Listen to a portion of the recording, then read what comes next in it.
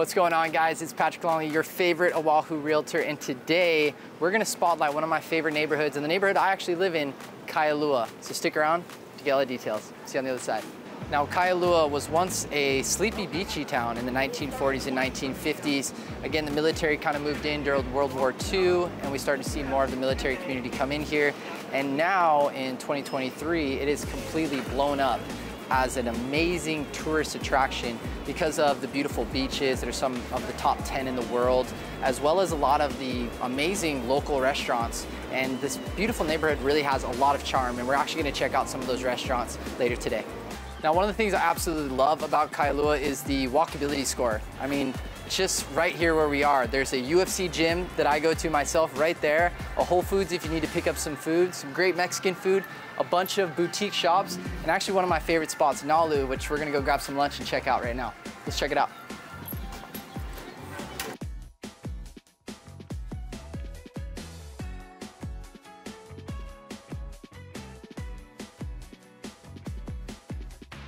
Okay guys, now another beautiful part about Kailua, obviously we have the walkability score, you've got tons of boutique shops, we also have tons of great eats. We checked out Nalu. If you want some killer pizza, you guys gotta check out Valentina's Pizza. And actually, she's here, so we're gonna talk to her real quick. Okay guys, well we were fortunate enough to actually have the owner and my good friend Vale from Valentina's Pizza here. So just gonna fire off some questions at you to tell the people a little bit more about this beautiful business you have here. So how long have you guys actually owned this place? So we've been here since August 2020, okay. almost three years, yeah. And you being the pizza artiste that you are, I have my personal favorites that you make, but what is your favorite pizza? So my favorite pizza is the Bee's Knees, um, and it was a collaboration between my brother and I. We came up with the recipe together. Um, and so we use our fresh dough, we add pesto to the base, we add fresh mozzarella, goat cheese, pepperoni and we use a special kind of pepperoni. It's like these little cups that get crispy and nice in the oven. Mm -hmm. And then we add our um, spicy honey that we make in-house on. It's the best. It's the most popular. That's actually my favorite one yeah, too. Yeah. it's hard to pick something else. They're all really good, but that one's, that one's the best one. Right on. Now, if anybody wants to get some of these beautiful pizzas, you're here Monday through Friday. What, what are the times you're actually here? We're here every day of the week. We don't move our truck. We serve the Lanikai Brewing primarily. So we're here Monday through Friday from 12 p.m. to 9 p.m. and then on weekends from 10 a.m. to 9 p.m. Right on. Yeah. Well, thanks so much, Vale. I really appreciate it. So again, if you guys want some killer pizza, come on down to Valentina's Pizza. It's right next to Lanikai Brew, which we're actually going to check out now and get a beer. Thank you so much, Vale. Enjoy your beer. Good to see you. Okay guys, now after you've had some beautiful pizza or a sandwich over in Nalu, you might want to top it off with a nice beer. And out here in Kailua, we don't just have bars, we have a couple micro brews. You've got Maui Brewing and also Grayson Growlers, which is a really cool spot. But my favorite spot, if you want to get a pizza and a beer, is going to be Lanikai Brewing. So let's go grab a beer and talk a little bit about the pros and cons of living out here in Kailua. So we're here at Lanikai Brew, one of my favorite microbrews out here. We're here with John, and we're going to talk about one of the flagship beers you said, right? Yes, yeah. It's the Motu IPA. It was originally called the 808. Uh, it's one of our flagship originals. Um, it's been around since we opened up for seven years ago.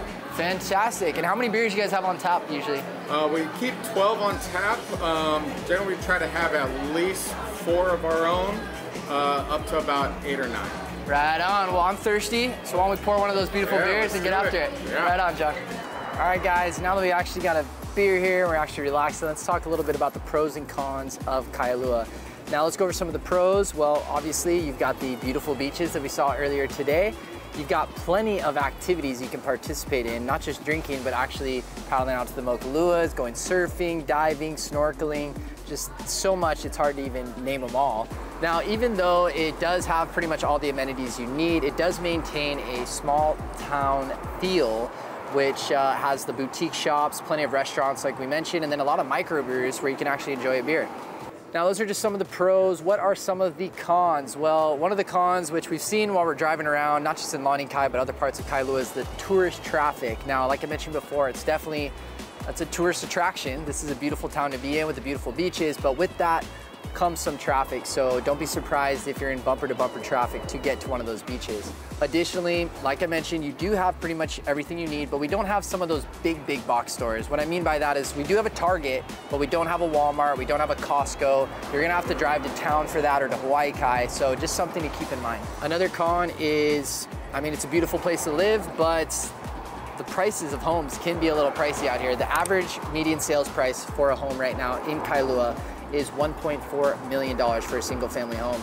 And for a condo, you're looking at about $700,000, $750,000 for a condo. So the prices aren't cheap, but you're paying to live in paradise and in one of the most desirable areas on the island.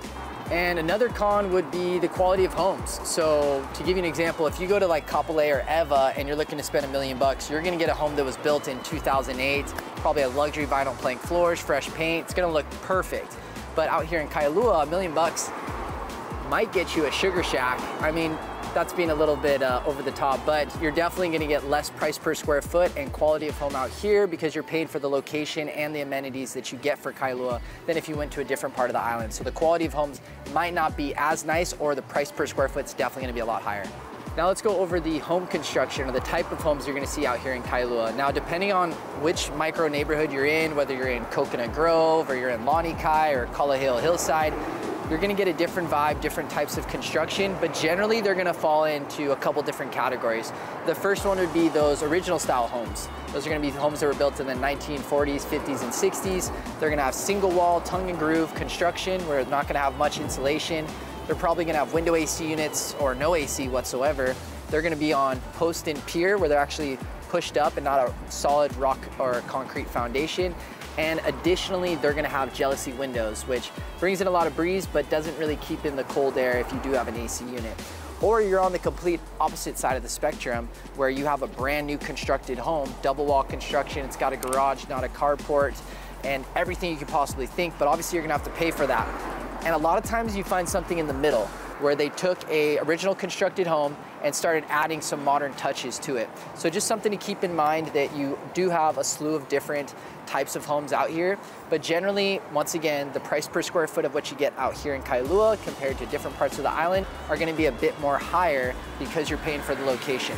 Okay guys, well that pretty much wraps it up with our breakdown of Kailua. I live here, it's one of my favorite places to live and I'm definitely biased to it being one of my favorite spots on the island, but if you guys ever have any questions, feel free to reach out to me. Put any of your questions in the comment section down below. Or if you want to talk real estate, talk about Kailua or any other part of the island, got my contact information down below, or you can directly DM me on any of my social media platforms. With that being said, I got a beer to finish, so I'll see you guys soon. Aloha.